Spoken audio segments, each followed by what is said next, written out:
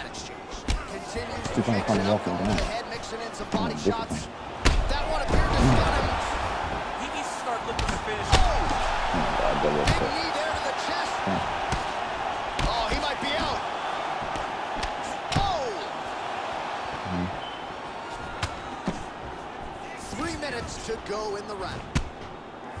Just over 20 total strikes have now landed for you, DC. One. Big punch land. Lands a big elbow there. Looked like it did stun him a little bit. Dude's hurt. Serve him up. Go get him. Oh! The jab followed by the right hand. That's it.